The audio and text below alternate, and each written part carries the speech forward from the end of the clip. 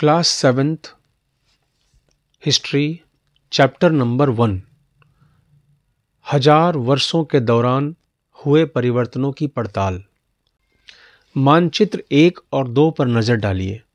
मानचित्र एक, अरब भूगोलवेत्ता, अल इद्रिसी ने ग्यारह में बनाया था। यहाँ जो नक्शा दिया गया है, वह उसके द्वारा बनाए गए दुनिया के बड़े मानचित्र का एक हिस्सा है। और भारतीय उपमहाद्वीप को दर्शाता है। मानचित्र दो, एक फ्रांसीसी मानचित्रकार ने 1720 में बनाया था। दोनों नक्शे एक ही इलाके के हैं, मगर उनमें काफ़ी अंतर है। अल इद्रिसी के नक्शे में दक्षिण भारत उस जगह है जहाँ हम आज उत्तर भारत ढूंढेंगे और श्रीलंका का द्वीप ऊपर की तरफ़ है। जगहों के नाम अरबी में दिए गए हैं और उनमें कुछ जाने पहचाने नाम भी हैं, जैसे कि उत्तर प्रदेश का कन्नौज। मानचित्र दो, पहले मानचित्र के बनने के लगभग 600 वर्ष बाद बनाया गया। इस कालावधि में उपमहाद्वीप के बारे में सूचनाएँ काफ़ी बदल गई थीं। यह नक्शा हमें ज़्यादा परिचित लगेगा। उसमें विशेषकर तटीय इलाकों के बारीक ब्यौरे देखकर आश्चर्य होता है। यूरोप के नाविक तथा व्यापारी अपनी समुद्र यात्रा के लिए इस नक्शे का इस्तेमाल किया करते थे। देखें अध्याय छ। इतनी ही महत्वपूर्ण एक और बात यह है कि दूसरे युग तक मानचित्र अंकन का विज्ञान भी बहुत बदल गया था। इतिहासकार जब बीते युगों के दस्तावेजों, नक्शों और लेखों का अध्ययन करते हैं तो उनके लिए उन सूचनाओं के संदर्भों का, उनकी भिन्न भिन्न ऐतिहासिक पृष्ठभूमियों का ध्यान रखना ज़रूरी होता है। नई और पुरानी शब्दावली। अगर समय के साथ साथ सूचनाओं के संदर्भ बदलते हैं तो भाषा और अर्थों के साथ क्या होता है? ऐतिहासिक अभिलेख कई तरह की भाषाओं में मिलते हैं, और ये भाषाएँ भी समय के साथ साथ बहुत बदली हैं। उदाहरण के लिए, मध्ययुग की फारसी, आधुनिक फारसी भाषा से भिन्न है। यह भिन्नता सिर्फ़ व्याकरण और शब्द भंडार में ही नहीं आई है। समय के साथ शब्दों के अर्थ भी बदल जाते हैं। उदाहरण के लिए, हिंदुस्तान शब्द ही लीजिए। आज हम इसे आधुनिक राष्ट्र राज्य भारत के अर्थ में लेते हैं। तेरहवीं सदी में जब फारसी के इतिहासकार मिनहाज ए सिराज ने हिंदुस्तान शब्द का प्रयोग किया था तो उसका आशय पंजाब, हरियाणा और गंगा यमुना के बीच में स्थित इलाकों से था। उसने इस शब्द का राजनीतिक अर्थ में उन इलाकों के लिए इस्तेमाल किया जो दिल्ली के सुल्तान के अधिकार क्षेत्र में आते थे। सल्तनत के प्रसार के साथ साथ इस शब्द के अंतर्गत आने वाले क्षेत्र भी बढ़ते गए। लेकिन हिंदुस्तान शब्द में दक्षिण भारत का समावेश कभी नहीं हुआ। इसके विपरीत, सोलहवीं सदी के आरंभ में बाबर ने हिंदुस्तान शब्द का प्रयोग इस उपमहाद्वीप के भूगोल, पशु पक्षियों और यहाँ के निवासियों की संस्कृति का वर्णन करने के लिए किया। यह प्रयोग चौदहवीं सदी के कवि अमीर खुसरो द्वारा प्रयुक्त शब्द हिंद के ही कुछ कुछ समान था। मगर जहाँ भारत को एक भौगोलिक और सांस्कृतिक सत्व के रूप में पहचाना जा रहा था, वहाँ हिंदुस्तान शब्द से वे राजनीतिक और राष्ट्रीय अर्थ नहीं जुड़े थे, जो आज हम जोड़ते हैं। किसी भी शब्द का प्रयोग करने में इतिहासकारों को बहुत सावधान रहना चाहिए, क्योंकि अतीत में उन शब्दों के कुछ अलग ही अर्थ थे। उदाहरण के लिए, विदेशी, जैसा सीधा साधा शब्द ही ले लीजिए। हमारे लिए आज इसका मतलब होता है, ऐसा व्यक्ति जो भारतीय न हो। मध्ययुग में, मानो किसी गाँव में आने वाला कोई भी अनजाना व्यक्ति, जो उस समाज या संस्कृति का अंग न हो, विदेशी कहलाता था।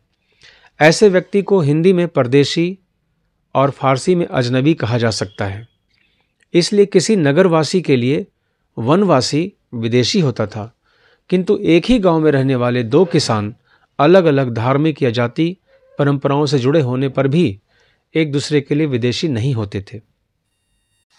मानचित्र एक, बारहवीं सदी के भूगोलविद्ता अल इद्रिसी का बनाया हुआ दुनिया के नक्शे का एक हिस्सा, जिसमें भारतीय उपमहाद्वीप को भूमि से समुद्र तक दिखाया गया है।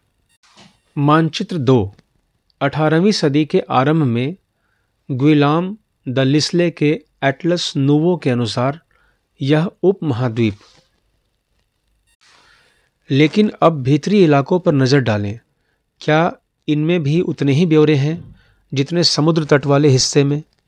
गंगा के मार्ग को देखें। इसे किस तरह से दर्शाया गया है? इस मानचित्र में तटीय और भीतरी इलाकों के बीच ब्यौरों और बारीकी का जो अंतर है, आपके ख्याल में उसका कारण क्या है? इतिहासकार और उनके स्रोत। इतिहासकार किस युग का अध्ययन करते हैं और उनकी खोज की प्रकृति क्या है, इसे देखते हुए वे अलग अलग तरह के स्रोतों का सहारा लेते हैं। उदाहरण के लिए, पिछले साल आपने गुप्त वंश के शासकों और हर्षवर्धन के बारे में पढ़ा। इस पुस्तक में हम मोटे तौर पर 700 से 1750 ईस्वी तक लगभग हज़ार वर्षों के बारे में पढ़ेंगे। इस काल के अध्ययन के लिए इतिहासकार जिन स्रोतों का प्रयोग करते हैं, उनमें आपको बहुत सी बातें ऐसी मिलेंगी जो पिछले युग से वैसी ही चली आ रही हैं।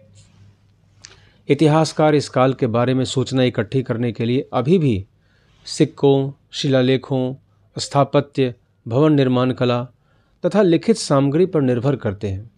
पर कुछ बातें पहले से काफ़ी भिन्न भी हैं।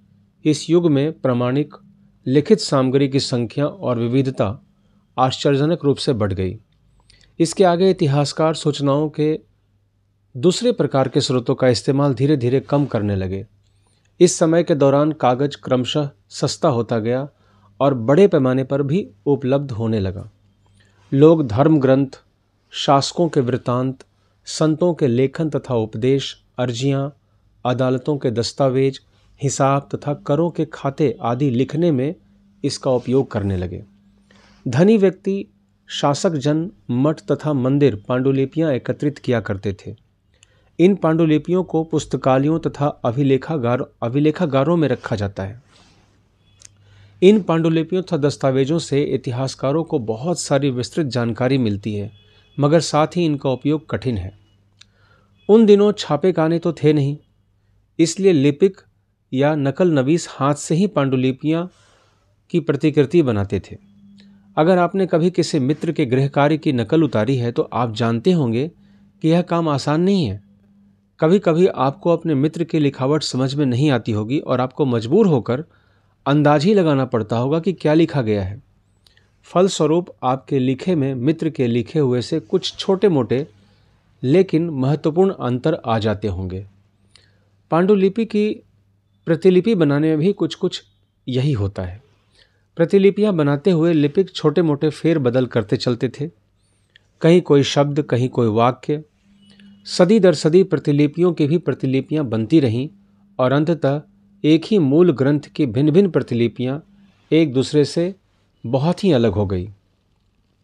इससे बड़ी गंभीर समस्या उत्पन्न हो गई क्योंकि आज हमें लेखक की मूल पांडुलिपि शायद ही कहीं मिलती हैं।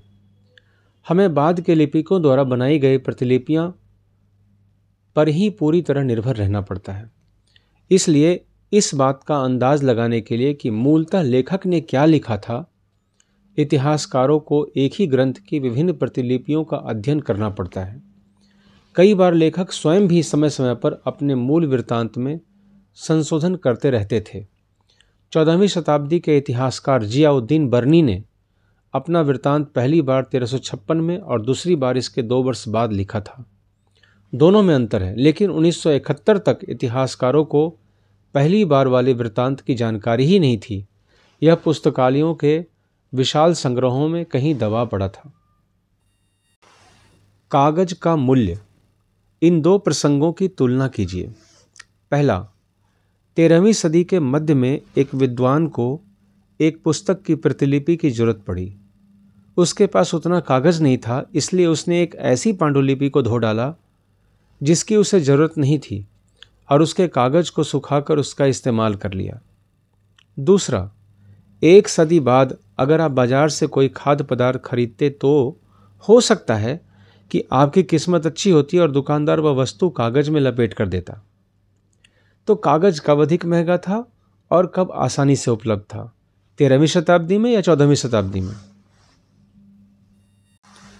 अभिलेखागार ऐसा स्थान जहाँ दस्तावेज़ों और पांडुलिपियों को संग्रहित किया जाता है।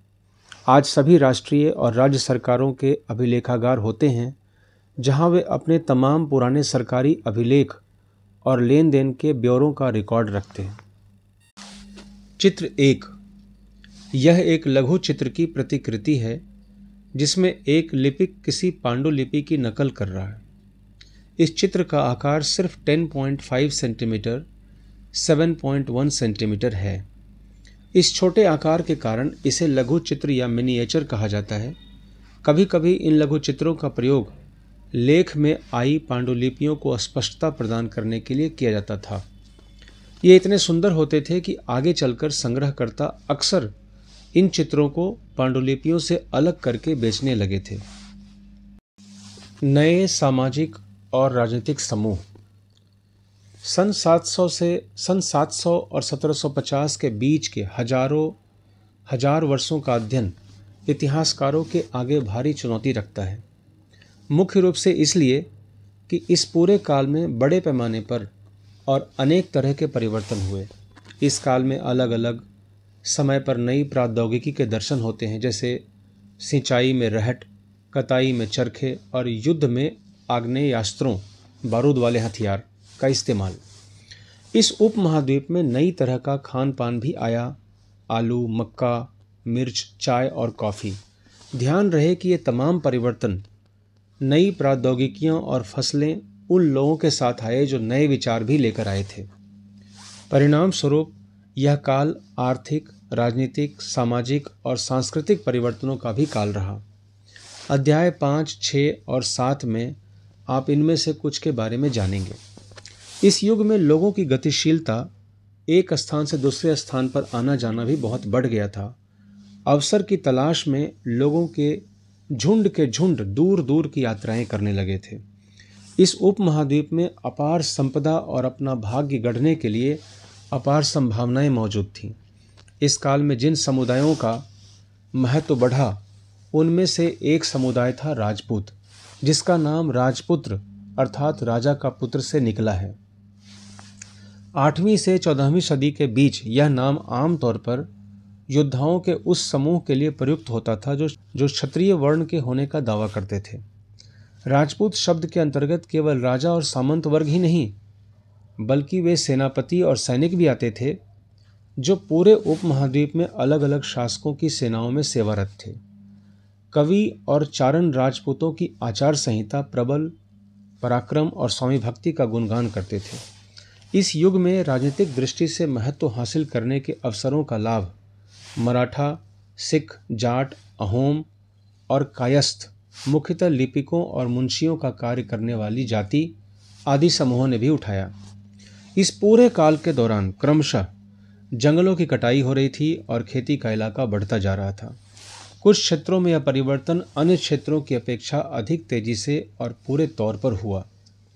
पर्यावास में परिवर्तन के कारण कई वनवासियों को मजबूर होकर अपना स्थान छोड़ना पड़ा। कुछ और वनवासी ज़मीन की जुताई करने लगे और कृषक बन गए। कृषकों के नए समूह क्षेत्रीय बाज़ार, मुखियाओं, पुजारियों, मठों और मंदिरों से प्रभावित होने लगे। वे बड़े और जटिल समाजों के अंग बन गए। उन्हें कर चुकाने पड़ते थे और स्थानीय मालिक वर्ग की बेगार करनी पड़ती थी। परिणाम स्वरूप किसानों के बीच आर्थिक और सामाजिक अंतर उभरने लगा। कुछ के पास ज़्यादा उपजाऊ ज़मीन होती थी, कुछ लोग मवेशी ही पालते थे और कुछ लोग खेती से खाली समय में दस्तकारी आदि का कुछ काम कर लेते थे। जैसे जैसे समाज में अंतर बढ़ने लगे, लोग जातियों और उपजातियों में बांटे जाने लगे और उनकी पृष्ठभूमि और व्यवसाय के आधार पर उन्हें समाज में ऊँचा या नीचा दर्जा दिया जाने लगा। ये दर्जे अस्थायी नहीं थे किसी जाति विशेष के सदस्यों के हाथों में कितनी सत्ता, प्रभाव और संसाधनों का नियंत्रण है, इसके आधार पर उसके दर्जे बदलते रहते थे। एक ही जाति का किसी क्षेत्र में कोई दर्जा हो सकता था और किसी अन्य क्षेत्र में कोई और। अपने सदस्यों के व्यवहार का नियंत्रण करने के लिए जातियाँ स्वयं अपने अपने नियम बनाती थी। इन नियमों का पालन जाति के बड़े बुज़ुर्गों की एक सभा करवाती थी, जिसे कुछ इलाकों में जाति पंचायत कहा जाता था। लेकिन जातियों को अपने निवास के गाँवों के रिवाजों का पालन भी करना पड़ता था। इसके अलावा कई गाँवों पर मुखियाओं का शासन होता था। मिल मिलाकर वे किसी राज्य की एक छोटी इकाई भर होती थी। पर्यावास। इसका तात्पर्य किसी भी क्षेत्र के पर्यावरण और वहाँ के रहने वालों की सामाजिक और आर्थिक जीवन शैली से है। इस अनुभाग में जो प्रौद्योगिकी आर्थिक, सामाजिक और सांस्कृतिक परिवर्तन वर्णित है। उनमें से कौन कौन से परिवर्तन आपकी समझ में, आपके शहर या गाँव में सबसे महत्वपूर्ण रहे?